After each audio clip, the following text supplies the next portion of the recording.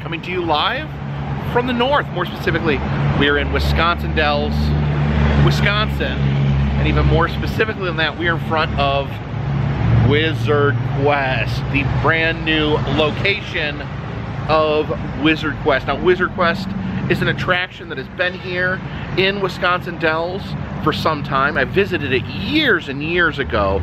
It's a really cool interactive adventure where you travel through a real physical space occupied by fantasy creatures, wizards, goblins, and the like. But uh, recently, when I came here, um, I think I was here last year in Wisconsin Dells, and they actually had a new location under construction. Um, it used to be down the street, down that way, next to Ripley's, but they've moved it to what appears to be a much larger location here on the other, other end of the main strip. Uh, it was under construction last time, but it is now open. So I figured we would head inside and go on an adventure here at Wizard Quest. So please follow me. Here along the street, actually see a door here with little peek holes in it can open this up and peek into Wizard Quest. Oh, there's there's some there's some wizards.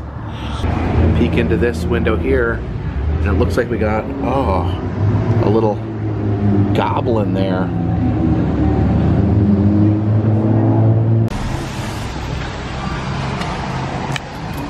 Oh, see a throne here and some statues of some of the creatures that we may encounter in the world of Wizard Quest. A little deer there with some interesting antlers. A fairy, a fairy right there. And then I don't know what kind of a what kind of a creature is that? Is it like a pixie maybe? All right, so they're giving us a tablet here. This is where we actually play the game and get our instructions from. Also have this UV flashlight that I guess you can use to find some clues. As we enter, it says watch your head and mind your feet. You don't want to step on a gnome. But, uh, so here we head inside. Oh. So we enter, okay. These are the different realms here.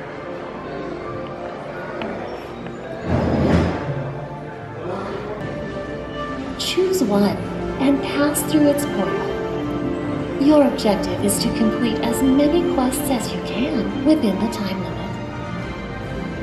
Lead the way. Let's go find a quest giver. So we have to pick one of these portals and it says to find a quest giver. Let's uh, head into the blue portal here.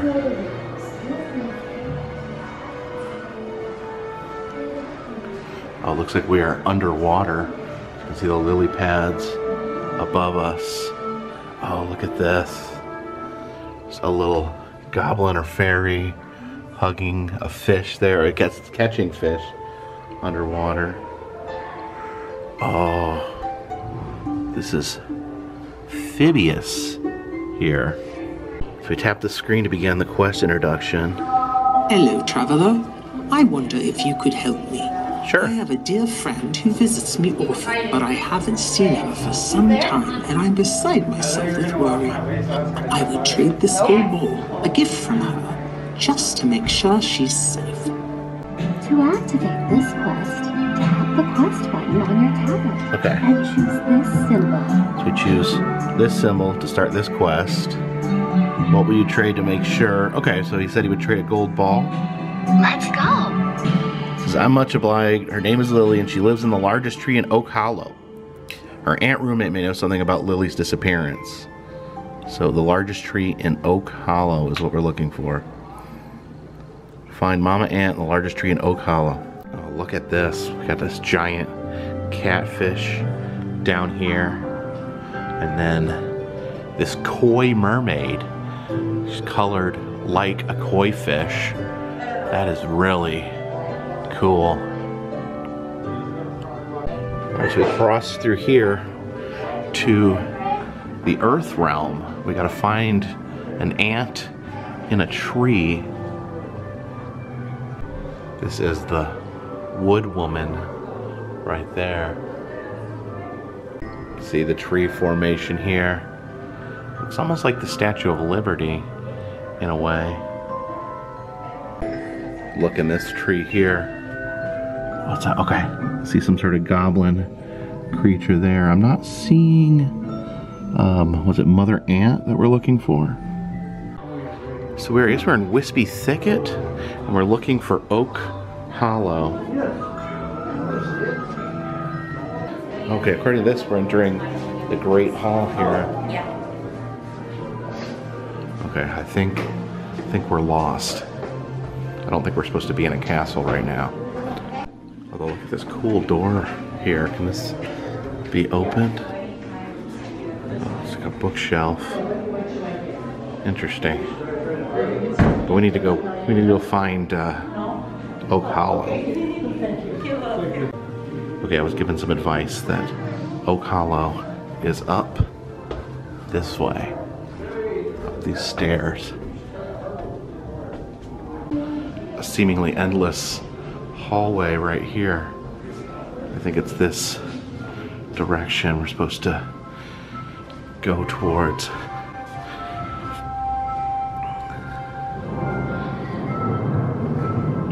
Oh, where am I? See, there's like a airship or dirigible right there. Some sort of ferry floating. Oh, wow. This little tiny clockwork city here. And look in here at this clockwork man here. It's pretty amazing. looks like he's got an owl in his stomach. I guess that's pulling the controls. So the owl has this robot mech suit. All right, still looking for Oak Hollow. It's uh, it is disorientating. There's just so many different directions and ways that you can go, but we'll continue walking down this hallway. Oh, this. This must be Oak Hollow in here. Can see some sort of tree creature here. There's like an elf, an elf man standing right here. But uh, we need to find the largest tree in Hollow. Is this, is this right here? Is this the largest tree in? I actually have a little snack bar here in the back of Hollow. So we can go up these stairs here. We peek in this window here. Oh, looks like there's like a fairy, a fairy ball going on there. But I still don't see Mother Ant. I almost feel like I maybe need to get up inside the trees. Let's see if we can find a way. Look at this big, crazy face right here. Big old mouth. We can maybe put a little cave in here. Oh my gosh, look at this troll monster right here. No climbing on the troll, by the way. Check him out. Wow. So yeah, I still cannot figure out how to get up to the the uh, balcony here, but uh, I'm gonna check inside this uh, this tree. Okay, there's a journal here on the table, and it's signed by Lily. I think Lily is actually who we're looking for in our current quest. Oh, here we go. Here is the ants. Let's see which one which one is mother ant. Is that mother ant right there? What kind of hat is mama ant wearing? So we see mama ant there. She's wearing like a little green hat, much like this one. So Greetings. when the tip of the pot meets the tea, a new passage you will see. When the tip of the pot meets the tea, a new passage you will see. When the tip of the pot meets the tea, a new passage you will see. So we'll tip the teapot there. Oh, a secret passage. Let's go in here.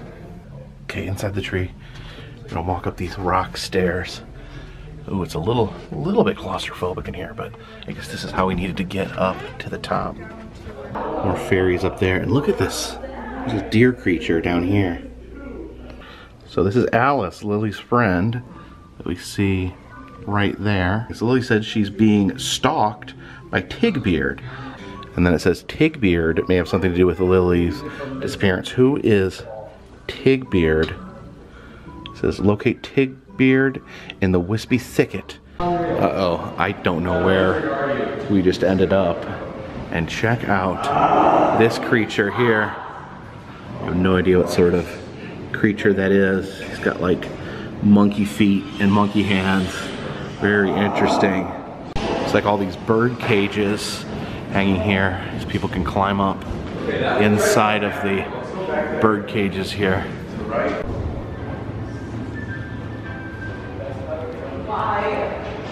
Okay, found a familiar area, so doing a little bit of backtracking till we get back to the wisps. We're back here in the wisp thicket. This is, I think this is who we're looking for. This is Tigbeard. All right, so we've located Tigbeard. You tell them, I'm here, I'm there. Where it's a patch that signifies he belongs to a particular guild. Assemble the correct pieces to replicate the patch. Patch right there. It does have a distinctive patch.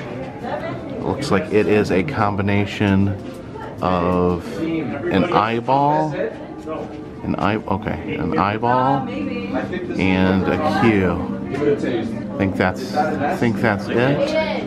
So we will submit that. Says, is, is Lily lying here? Yes, Lily is here as you can see. She is in a catatonic state. So Tigbeard here is telling us that Lily is here, but she is in a catatonic state. So we look down here, there we can see Lily unconscious in the nook of the tree there. Lily, okay. So he is actually a, uh, a good guy. He's here to protect Lily. He is some sort of goat creature, but uh, he protects uh, people that live in trees. Let's go to the Great Hall in Delder's Castle and find a book called Curse of the Blue Moon Fairies. All right, so here we're here. This is okay. This is actually the book we are looking for, Curse of the Blue Moon Fairies. So we got to see uh, what they turn into during the uh, blue moon. So apparently they turn into uh, hideous hags. It says with uh, tremendous magical power. This is what does a blue moon fairy turn into? Turns into a hag. It says find a blue moon fairy in the Fey Harbor of Air Realm. Naturally, the Air Realm is back upstairs. Okay, so here in the Air Realm, we've located a blue moon fairy. So we have two choices here. We can let the blue moon fairy live and abandon Lily, or we can obtain a soul gem, abolish the blue moon fairy, and save Lily. I mean, we've, we, have gone this far trying to save Lily, so I think we're gonna continue on. It says, okay, I remember seeing a soul gem in Delzer's map room. That'd be a good place to check. We're in the Great Hall of Delzer Castle. I'm not sure where the map room is. Let's peek here behind the fireplace. Oh, geez, okay. Um, I don't think this is who we need right now, but that's a cool little creature. Okay, so apparently the map room is upstairs in Delger's Castle. Oh, here we are. I think this is the map room. At least there's, appears to be maps. Oh, look at that weird owl creature up there. I love all the weird creatures. So, okay. Here's a map of the entire area. So uh, it says we're supposed to look for the soul gem. That's the soul gem right here. We match it up to the soul gem on the tablet. All right, Blue Moon Fairy, I'm sick of your crap. It says tap the gem to capture the soul of the Blue Moon Fairy. All right, so we have completed a quest.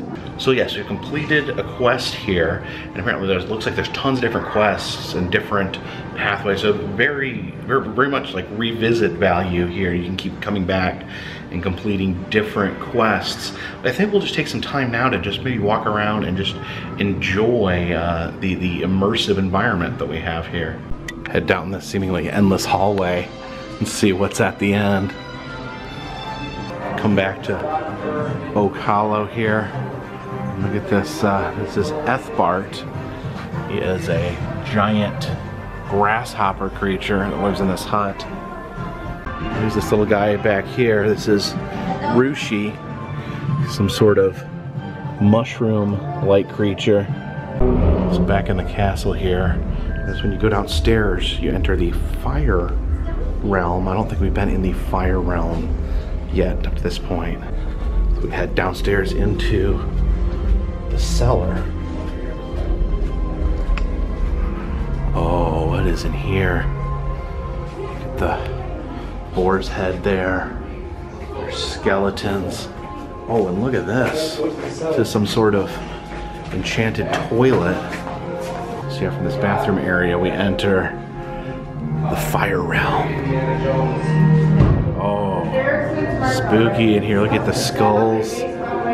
Some sort of dungeon cage in here. Peek through. Look in the window here. See the there's dwarves in there. Looks like they're maybe forging weapons in the fire. Sort of phoenix-like creature there. All these little huts that you can poke into. See the figures in there. Here in this cage, this woman's dragging this wild beast. It's like some sort of boar.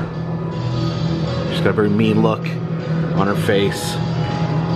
She's dragging it out of this enclosure here. You can see the baby boar creatures on the ground. Got so much area here to explore. What's Oh, a giant flaming spider. Oh my gosh. Look at that beast. There's so many terrifying beasts here. We head here from the fire realm into the deep of the water realm. I think we started in the water realm, but this is the deeper section. You can see the kraken tentacles right there. So we see this sort of submarine like device. See the pilot of the submarine right there. And oh my gosh, I didn't even notice it at first. Look at the Kraken's mouth there. Oh wow.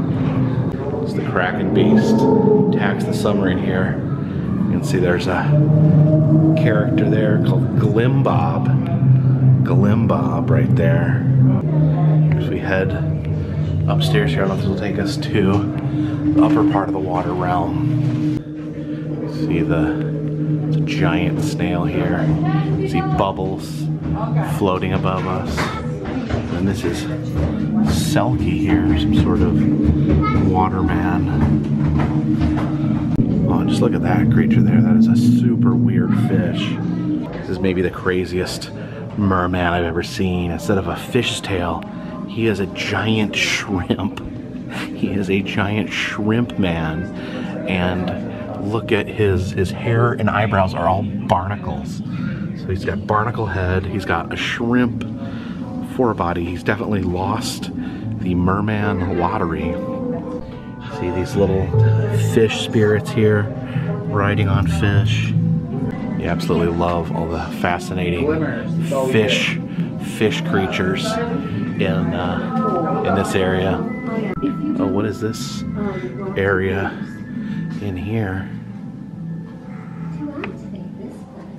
See a statue of Neptune there. Oh, I love this guy here. This big turtle creature there. Kind of got a giant shell, like a, uh, almost looks like a starfish. Very fascinating. Notice the treasures they have here. I think these are supposed to be things that maybe they've retrieved from the from the world up above. And a little Easter egg here, of course we are in Wisconsin, so they have a Green Bay Packer helmet up there. So we've reached Swindley's shop here. Guess that is Swindley right there. And I guess we can purchase things, but we have to use this QR code with our tablet. All right, so we scan the QR code. Here are some things that we can purchase. We have 27 coins, which they call glimmers.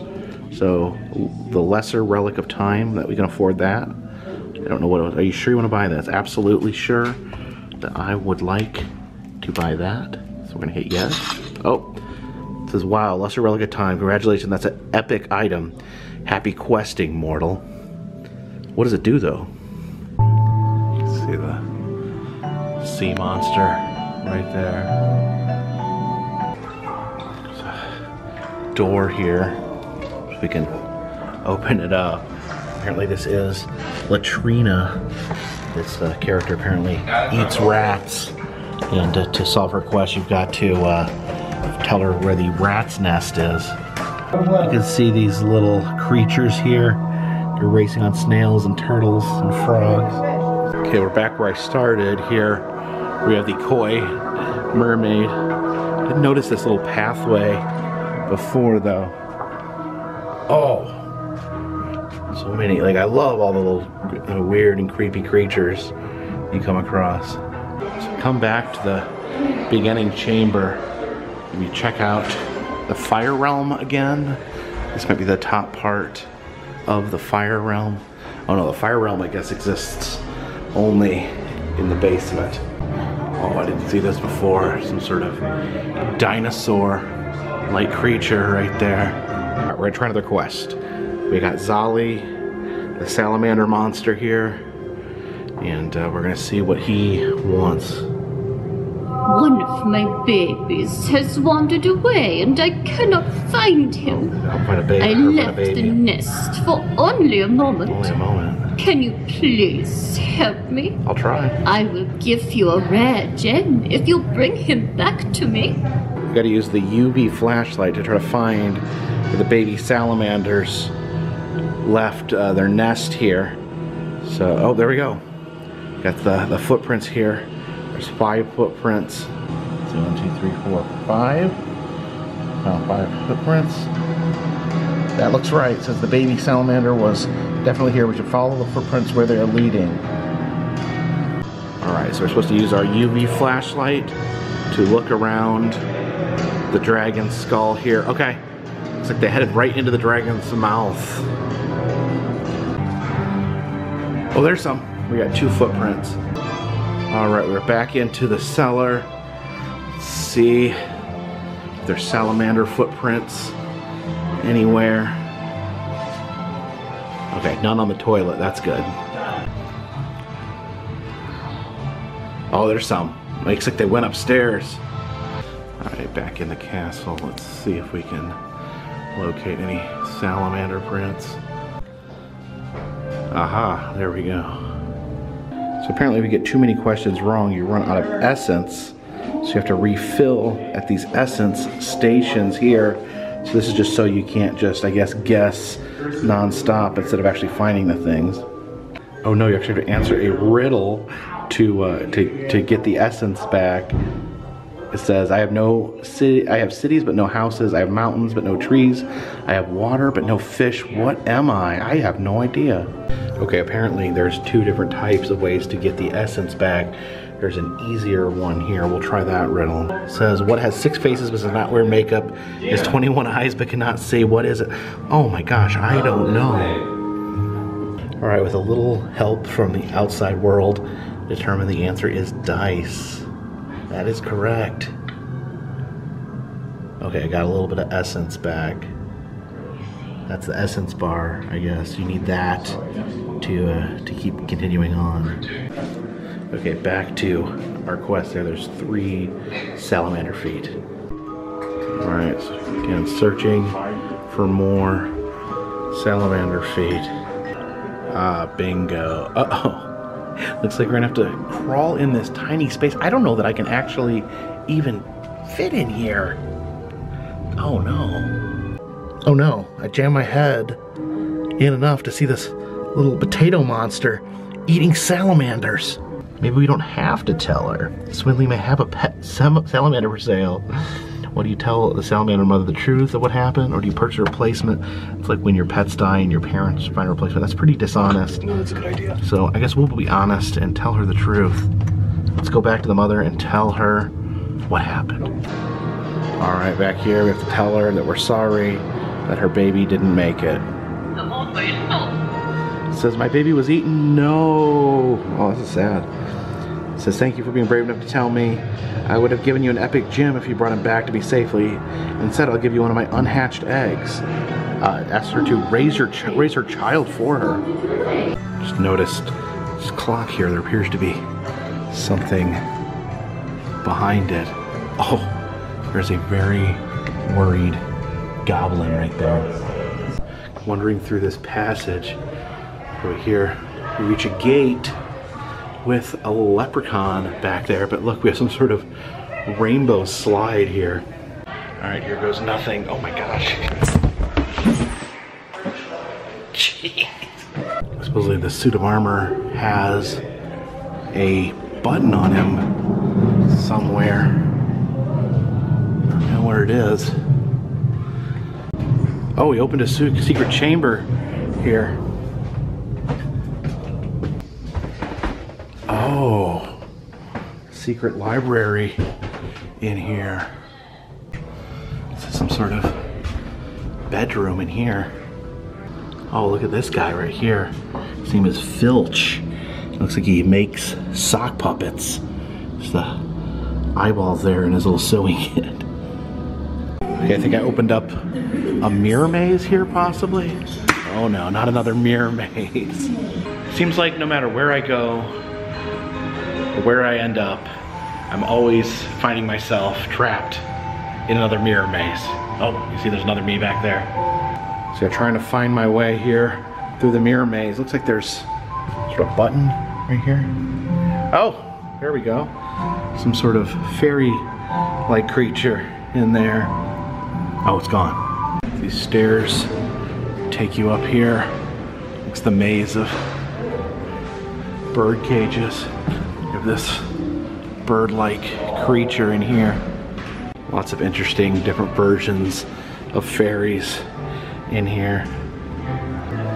And the Grim Reaper tells us to exit this way through the gift shop.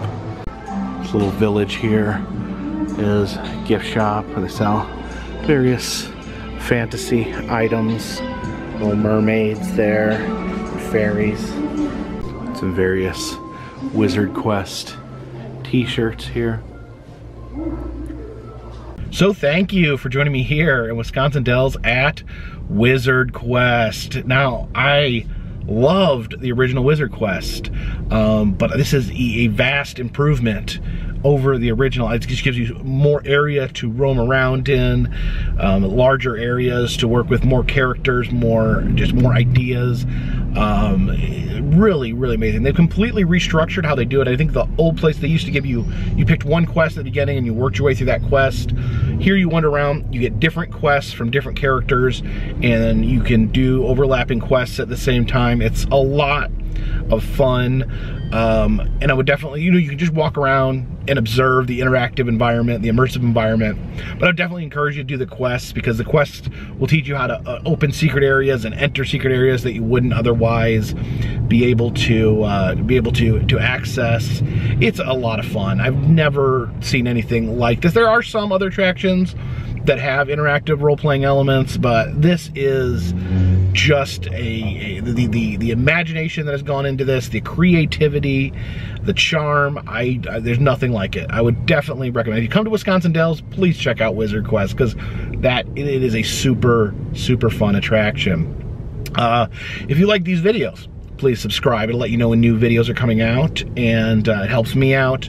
Uh, these videos, I travel around the United States, filming roadside attractions, amusement parks, museums, haunted houses, and other fun stuff. I've been to the 48 continental United States and continue to travel. Um, if you'd like to help uh, support the channel, consider contributing to Patreon. $3 or more will get you a postcard once a month from me to you. Also selling five different styles of enamel pins in the Etsy shop. All that information is in the description of this video. And all that goes to help keeping this train on the track, this boat in the water realm, and this dirigible in the air. Until next time, my friends, this one's in the bag.